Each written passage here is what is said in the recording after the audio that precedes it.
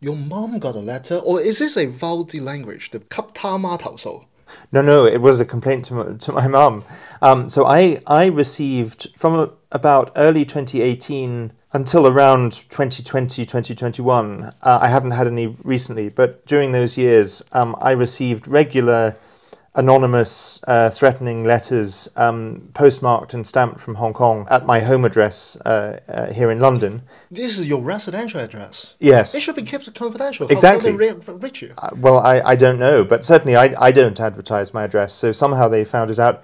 They also sent letters, uh, a few letters to some of my, well, to all of my neighbours in the street where I live, and then they started sending letters to my mother. I think they probably sent um, roughly about 10 letters to my mother. These letters to my mother were, were telling her to tell me to, to shut up, to, to stop doing what I'm doing.